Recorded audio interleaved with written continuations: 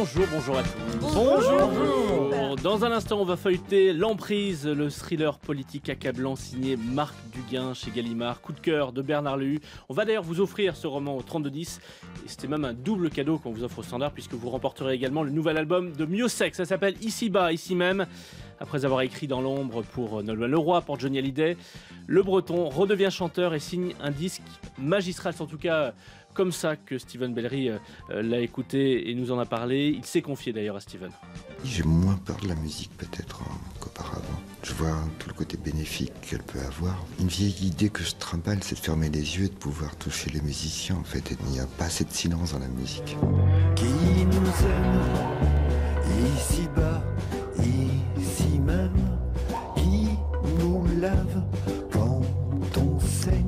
donc on va l'écouter euh, dans un instant. Sur votre plateau télé du soir, servi par Isabelle Morini-Bosque, Plus belle la vie, en format rallongé à 20h50 sur France 3 et très loin de Marseille. Et puis le démarrage aussi sur TF1 de Unforgettable saison 2. Écoutez, vous avez très bonne presse. 92% d'affaires résolues. Vous êtes la crème. Bah alors c'est pour ça que vous étiez là ce matin Pour voir si on passait le grand oral? Eh oui, je me souviens de vous. Je trouvais la cravate jaune beaucoup mieux d'ailleurs. Oh, j'ai renversé du tzatziki dessus. Et nos affaires en cours, qu'est-ce qu'elles deviennent? D'autres s'en occupent pendant que vous travaillez ici. Lara Sonnenland est âgée de 11 ans. Il faut que vous la sauviez. Et puis en cette semaine de vacances pour les écoliers franciliens et aquitains, une idée de sortir en famille, le musée du Quai Branly à Paris propose une exposition étonnante, passionnante, consacrée aux Indiens des plaines d'Amérique du Nord. Monique Younes l'a visité en compagnie de l'ethnologue Michel Petit. Le trio homme, cheval, bison crée la culture des plaines. La peau du bison, elle sert à fabriquer les tipis, les tentes. C'est 400 kilos de viande, un bison, donc euh, ça se mange. Les os, ça va faire des outils. Les tendons du dos de l'animal, ça va faire du fil à coudre. Euh, les sabots, ça va faire de la colle. Euh, la bosse du bison sert à faire le bouclier. Le reste de la peau sert aussi à faire des vêtements. Donc le, le bison, c'est un peu comme chez nous aujourd'hui avec le cochon. hein. Dans le cochon, tout est bon. Eh bien, pour eux, le bison sert à toute chose. RTL Matin. Laissez-vous tenter. Laissez-vous tenter. Bernard Lehu, Marc Duguin, c'est probablement, pour ceux qui n'ont jamais lu, un, un des auteurs français les plus passionnants. Il publie son nouveau livre, ça s'appelle L'Emprise, et une fois de plus, il s'empare de l'histoire pour tisser euh, sa toile romanesque. Oui, qu'elle soit ancienne ou actuelle, l'histoire l'inspire. Il y a eu celle des gueules cassées de 14-18 avec Dans la chambre des officiers, son premier Qui était devenu un film Ah oui, après. une, me- voilà. une merveille. Une merveille, Celle ouais. du FBI et de son tout-puissant directeur Edgar Hoover dans La malédiction d'Edgar, ou celle de Poutine et de la tragédie du sous-marin Kursk dans une exécution ordinaire. Qui était aussi devenu un film Et qui a été Grand Prix RTL Lire. Absolument. Alors, cette fois, Marc Duguin brosse un tableau cruel, accablant du système français, miné par les liaisons dangereuses de la politique, des affaires et des services secrets. C'est haletant d'un cynisme absolu. Moi, ça m'a fait penser à, à une version 5ème République euh, de la série de Canal, vous savez, House of, of Cards. Ah oui, très sombre, hein, House of Cards. Euh, Est-ce que, comme dans House of Cards, il y a un candidat, quelqu'un qui rêve de la présidence? Ben oui, alors c'est le personnage pivot de ce grand thriller politique, Philippe Launay, leader de l'opposition, et il se prépare à défier le président sortant, mais les, les nuages s'amoncellent. L'épouse de Launay, dépressive depuis le suicide de leur fille, est décidée à torpiller sa candidature. Un scandale sanitaire alors que Launay était ministre de la Santé est sur le point d'éclater. Et puis à l'intérieur même de son parti, l'éternel rival de Launay multiplie les coups tordus. Marc Duguin. Un candidat à la présidentielle, c'est quelqu'un qui passe plus de temps à se battre pour survivre, presque souvent plus dans son propre parti que euh, face au parti adverse. Ce qui fait que c'est des gens qui n'ont pas le temps finalement de vraiment réfléchir à une ambition de réfléchir à un programme de long terme.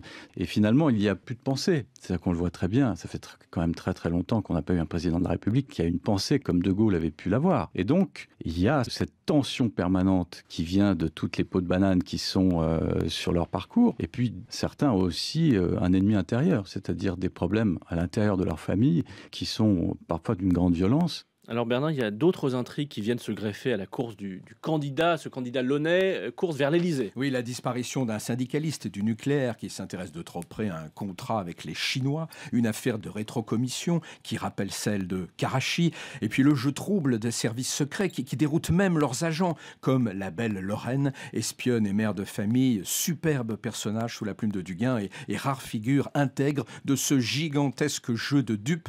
Et sur le chemin chaotique de la vérité, Lorraine croisera un autre euh, incorruptible, là aussi très beau personnage, Saban, le commandant en second du sous-marin nucléaire L'Effrayant. Celui-là, j'ai été chercher dans la réalité. C'est quelqu'un que je connais. Vous savez que quand j'ai fait euh, une exécution ordinaire, j'ai eu la chance d'être invité à bord d'un sous-marin nucléaire. Et j'ai beaucoup d'admiration pour les sous-mariniers. Je pense que ce sont des gens euh, de grande classe. Voilà. Et je trouvais que dans ce marigot, qui est celui que, que j'aligne sur euh, un peu plus de 300 pages, c'est intéressant d'avoir un, personnage comme ça qui finalement sacrifie énormément pour la protection de la nation, puisque c'est des gens qui partent dans des missions très longues, qui ont une vie de famille euh, très compliquée et qui sont souvent assez choqués par le fait qu'on se serve du secret défense pour euh, abriter des exactions d'un monde politique qui n'est pas a priori ce qu'ils préfèrent eux. Et alors toutes ces intrigues et leurs acteurs finiront par former le, le puzzle magistral d'une démocratie en péril que Marc Duguin entend bien défendre avec les armes du romancier. Comme les journalistes d'investigation, d'une certaine façon, exercent un pouvoir et même un contre-pouvoir extrêmement nécessaire dans une démocratie, on exerce aussi, nous les romanciers, d'une certaine façon, un pouvoir qui est d'amener par l'imaginaire à la compréhension d'un système qui finalement est rarement résumé à ce point-là. C'est ça qui est intéressant, je pense, dans un roman, c'est que vous amenez une synthèse, ça aide le lecteur à avoir une vision de tout ça beaucoup plus large. Voilà, Marc Duguin qui signe L'Emprise, le roman où rien n'est vrai et où rien n'est faux. C'est à lire d'urgence chez Gallimard. Et vous ne raterez pas certainement ce livre euh, sur, le- dans les devantures des librairies, puisque la couverture est très noire, qui Mm. reprend, reprend du bien l'image, de, euh, l'esprit de, de ce livre dont vous nous avez parlé, L'Emprise, Marc Duguin chez Gallimard. On vous fait gagner l'Emprise, ainsi que le nouvel album de Miossec, dont on va écouter quelques extraits dans un instant, ici-bas, ici même, avec euh, Steven Bellery. On vous fait gagner donc le livre et le disque. Si vous répondez à cette question que vous pose Bernard Lehu. Alors, quel est le nom du candidat à la présidence? Dans l'emprise On l'a répété plusieurs fois. Euh, Ce nom est-ce Lorrain ou Launay? Vous avez la réponse. Vous aimez Marc Duguin, vous aimez Miossec, ou vous voulez découvrir ses chansons ou euh, les textes de Marc Duguin, vous nous appelez au 3010 et vous repartez avec ces deux cadeaux. Isabelle Morini-Boss découvre à l'instant les audiences télé d'hier soir. Isabelle. Absolument. Bah, ce sont des audiences de vacances, mais c'est tout de même un démarrage relativement faible pour Taxi Brooklyn sur TF1. le- l'adaptation du film, des films euh, produits 5 par Besson. millions, voilà, 5 400 000 téléspectateurs et presque 21% du public global présent donc sur la 1. Devant Rizzoli and Niles sur la 2, 4 200 000 et 16% des téléspectateurs, score très stable.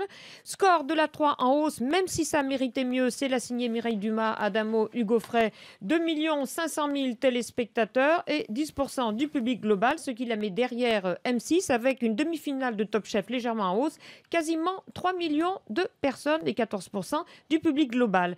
Côté nouvelle TNT, c'est D8 avec Identité secrète qui dépasse le million. Steven Bellery, on a écouté quelques extraits tout à l'heure euh, au fil de la matinale, quelques courts extraits euh, du nouvel album euh, de Miossec qui sort cette semaine. C'est le neuvième album studio de Christophe Miossec. Et d'ailleurs, on va écouter tout de suite un, un petit extrait. C'est pas fini, on vient à peine de commencer, c'est pas fini.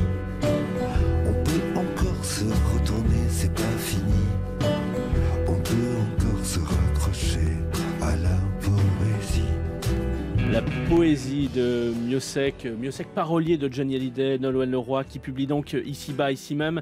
Et vous me disiez, Steven, que c'était euh, probablement l'un des plus grands disques du printemps. Oui, c'est le meilleur album du Brestois de 49 ans, 11 titres, 33 minutes, un disque qui prend aux tripes du travail d'artisan, déroutant, intemporel, épuré. On avait découvert Miossec en 1995 avec son album Uppercut Boire. Près de 20 ans après, le Finistérien est apaisé. Qui nous aime?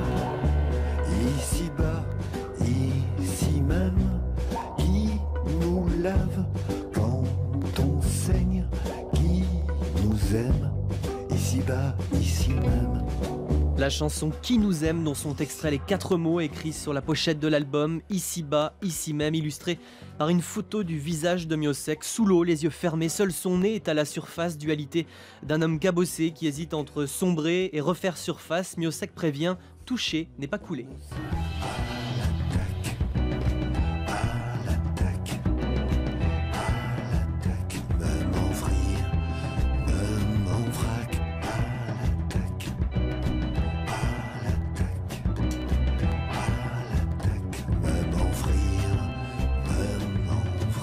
Il y a une vie avant, il y a-t-il une vie après? Moi, c'est la vie pendant que je veux me taper, chante Miosek dans ce titre à l'attaque. Ici-bas, ici même est un album hanté par la mort, ça n'est pas pour autant un disque sombre. Se coltiner de sujet de la mort, moi, ça faisait depuis longtemps que je voulais, sans faire quelque chose de sinistre ou sans faire quelque chose qui devienne absolument morbide. Bah, elle est là depuis le premier jour, en fait. Faut pas faire comme si elle n'existait pas. C'est mieux de savoir qu'elle est là et que le temps est imparti. C'est très important, ça. Vivre sans la mort, c'est pas marrant. hein. La mort remet toutes les choses à leur niveau, toute la prétention humaine, justement. Tous ces excès de mégalo, ça épure les choses. Ce qui nous arrive ne dépend plus vraiment de moi. Ce qui nous atteint était dans l'air depuis des mois. Pour ceux qui aiment euh, et qui découvrent ses premiers extraits, on se dit que c'est un peu loin de l'univers euh, énervé, l'univers très rock de Miosek. Est-ce que c'est parce qu'il euh, voilà, qu'il a bientôt 50 ans que Miosek se calme, se range? Ouais, il y a un peu de ça. Miosek a tout écrit et pour la première fois tout composé, excepté une chanson. Et c'est Albin de la Simone qui a tout orchestré, jeune musicien à qui l'on doit notamment les arrangements de la tournée acoustique de Vanessa Paradis il y a 4 ans. C'est lui qui a canalisé Miosek dans sa petite cabane face à la presqu'île de Crozon dans le Finistère où tout a été enregistré dans une certaine urgence. C'est vrai que j'étais un peu pressé de faire un disque dont je serais assez content et fier en fait. Et que je pourrais moi-même réécouter, ce qui n'était pas le cas auparavant. Le disque, on l'a fait en 9 jours. Il enregistrait à la maison et emmenait des Parisiens à la maison. Pour moi, c'était essentiel en fait. Du coup, oui, la cabane, c'est un peu le club des 5, mais à 3 quoi. Trois petits garçons en train de s'amuser. quoi. Moi, j'ai l'impression d'avoir bouclé quelque chose qui avait commencé avec boire et, et maintenant, je peux enfin me détendre. Où sont passés nos rêves. Sont-ils trop lourds pour que je les soulève? Où sont passés nos rêves? Quand on sent le soir monter la fièvre. J'ai moins peur de la musique peut-être hein. Je vois tout le côté bénéfique qu'elle peut avoir. Une vieille idée que je trimballe, c'est de fermer les yeux et de pouvoir toucher les musiciens en fait. Il n'y a pas assez de silence dans la musique. Je tenais vraiment à ce que ça soit pas daté 2014. hein, parce que c'est vrai que ce disque aurait pu être fait en 95, en 89. on- Moi, c'est vraiment de la découverte d'une certaine légèreté en fait. Bête comme j'étais avant Avant je parte en sucette Bien avant les Bête comme j'étais avant, co-composé avec la complicité de Stéphane Echer. Et dans ce nouvel album, Miosek euh, épouse la grande tradition de la chanson française. Ouais, ses coups de gueule pouvaient agacer, il mettra tout le monde d'accord avec ce nouveau disque superbement habillé de guitares sèches, de cordes, d'accordéons, de tendres mélodies qui viennent magnifier les textes ciselés sur le temps qui passe, les erreurs de jeunesse, l'amour, le doute et surtout la rage de la vie.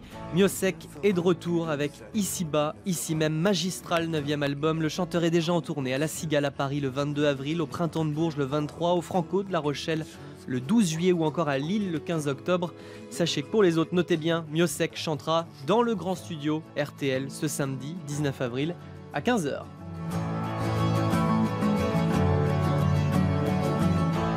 Le cœur cogne Le cœur chute Le Ah, ça, c'est ma cœur chanson préférée de l'album.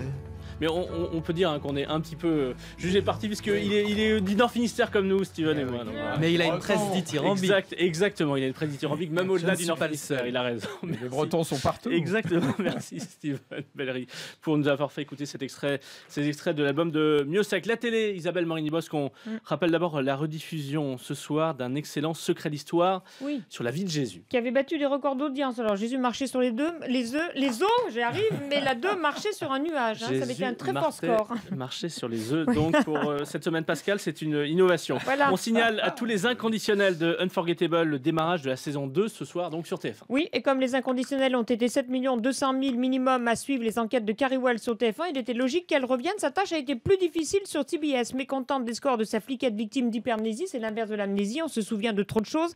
La chaîne avait annulé la saison 2 avant de revenir sur sa décision à la demande des fans.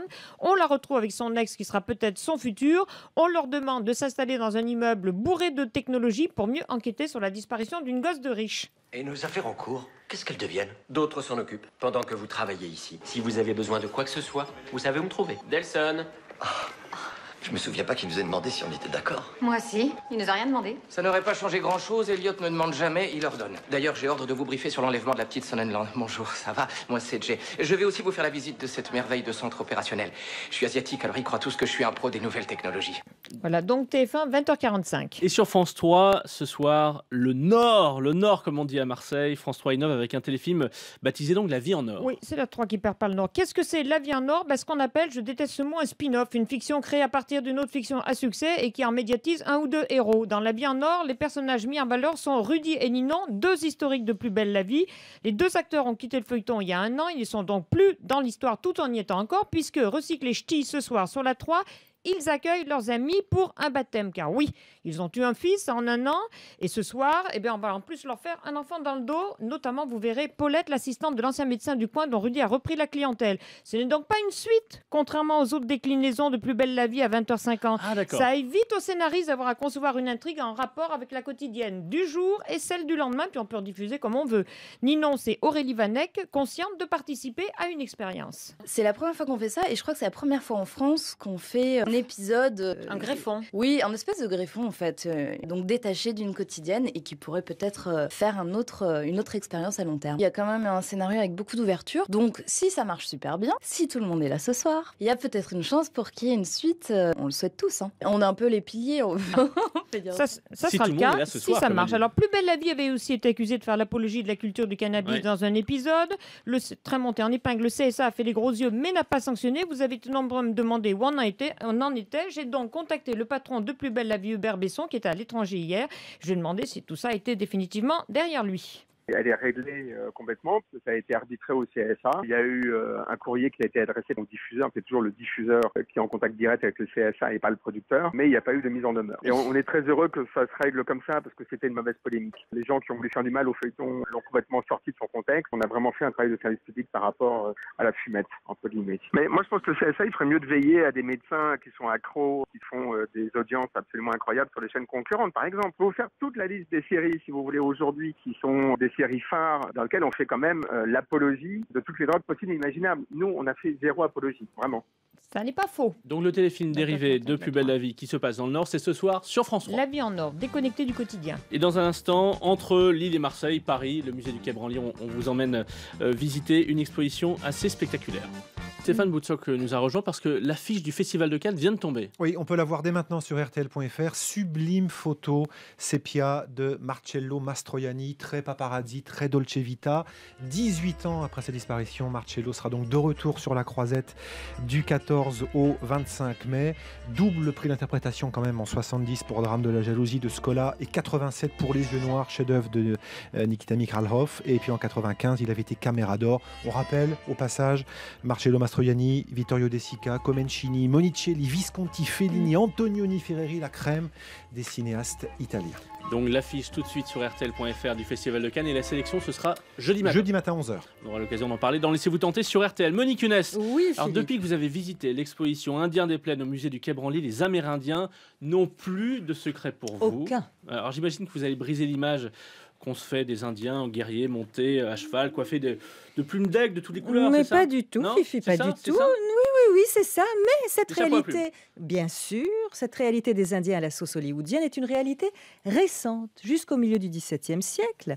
Apprend-on au musée du Quai Branly, les Indiens des plaines formaient un peuple d'agriculteurs nomades. Ils chassaient le bison à pied et avaient comme seul animal domestique le chien. Ils vont découvrir le cheval grâce aux Espagnols venus du Mexique vers Ah, oui. 1660. Et le cheval va bouleverser leur vie et devenir un des emblèmes de leur peuple, m'a expliqué l'ethnologue Michel Petit, qui a longtemps vécu dans les réserves amérindiennes. Les Indiens vont très vite comprendre que cet animal, qui est amené pratiquement par les esprits, hein, puisqu'ils vont l'appeler le chien sacré, va les aider dans la chasse. Il va permettre de se déplacer plus vite, de déplacer des poids beaucoup plus importants. Il va permettre non plus d'attendre les animaux, les troupeaux de bisons par exemple, mais de les suivre et de pouvoir galoper au sein des troupeaux de bisons pour tuer les animaux. Donc c'est quelque chose d'extraordinaire qui va révolutionner complètement leur culture. Alors les Amérindiens ont tellement vénéré le cheval qu'ils le représentaient partout. Ils dessinaient au peignet leurs exploits guerriers sur les peaux de bison et les portaient pour parader dans le village. Vous verrez nombre de ces peaux tatouées au musée du Quai Branly. Elles sont juste splendides. Et les Amérindiens sont devenus sédentaires. Sont devenus sédentaires. Se sont installés, quoi. Voilà, 18e siècle. elles se sont bien installés. Au XVIIIe siècle, c'est alors que les femmes vont broder des silhouettes de chevaux en perles de verre sur des robes. Certaines d'entre elles pèsent 20 kilos. Sur les vestes, les jambières, les porte-bébés, autres gants ou mocassins. Vous savez que ce sont eux qui ont inventé les mocassins, les Amérindiens. C'est incroyable. Mais oui, mais oui, mais oui. Et, et ils, ont, ils ont inventé aussi les, les coiffes avec les, les plumes d'oiseaux. Ça date de quand? Mais écoutez, celle euh, exposée au musée du Quai Branly, il y en a une qui date de 1830 avec des plumes de corbeau, mais la plus belle date de 1865 avec les plumes d'aigle, autrement plus significative, m'a dit Michel Petit. Il faut savoir que chez les Sioux, par exemple, l'aigle, c'est le roi des oiseaux. C'est celui qui vole le plus haut dans le ciel et donc qui ramène le message des hommes vers le grand esprit. Euh, également, quand il fond sur sa proie, il la rate jamais. Donc un Indien, en portant ce genre de coiffe, il va se procurer la force de cet animal extraordinaire. Et il faut savoir que l'âge d'or des Indiens des plaines se situe en 1750 et 1850. Vous remarquerez leurs pipes et autres calumets de la paix, sculptés dans du bois et de l'argile. Vous savez que le tabac est sacré chez eux.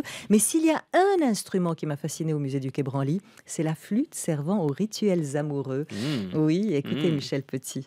Quand le jeune homme voulait faire la cour à une jeune femme, il repérait une jeune fille, bien sûr. Il vérifiait qu'elle n'était pas mariée ou qu'il n'y avait pas quelqu'un d'autre qui lui faisait la cour. Le soir, il se mettait une couverture sur le dos, il prenait une flûte et il jouait de la flûte à côté du tipi de sa bien-aimée. Si la jeune fille sortait, faisant mine de rien, etc., ça voulait dire T'as peut-être une chance. Donc il revenait le lendemain. Si on ne sortait pas, ça voulait dire qu'elle avait réfléchi et que c'était plus possible. Et au bout d'en général 5-6 fois, la jeune fille venait le voir. Et si elle acceptait de l'épouser, dans ce cas-là, elle- demandait au garçon de la recouvrir avec la couverture que le garçon portait sur le dos. Ensuite, le garçon devait aller négocier avec les parents. Donc leur offrir des cadeaux pour pouvoir épouser leur fille, etc. C'est- mieux que de draguer via Facebook en même temps. Ben, vous avez compris, pour séduire une femme avant même de se montrer bon amant, Philippe, et bon guerrier ou bon chasseur, l'homme doit avant tout être un excellent musicien, sinon la femme peut le mettre à la porte et vite fait. Le musée du Quai Branly donc ne propose pas des cours de flûte aux visiteurs, Dommage. hélas, mais des westerns et des animations pour enfants en quantité et un catalogue de toute beauté. L'exposition s'appelle Les Indiens des Plaines. C'est à voir jusqu'au 20 juillet au musée du Quai Branly, près de la Tour Eiffel à Paris. Merci beaucoup, Monique Nunes. Dans un instant, la réponse au jeu pour repartir avec le roman de Marc Duguin et le nouvel album de Miossec.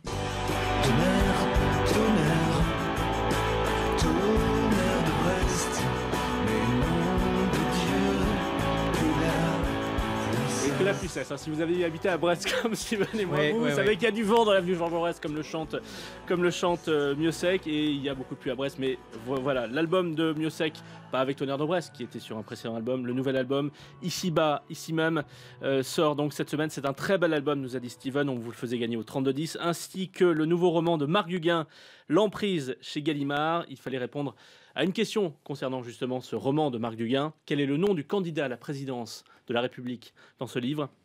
C'est le Eh candidat Launay. Launay, monsieur Launay, candidat à la présidence de la République. Donc, très bon livre, euh, nous a dit également euh, Bernard Lehy. Bonne journée à tous sur euh, RTL et jusqu'à 11h, vous êtes avec Julien Courbet. Merci beaucoup, merci à toute l'équipe de l'info. Alors De rien. attention, on va euh, attaquer une spéciale maintenant sur RTL. On va écouter. Ça démarre, tout le monde est sur le pont, on y va.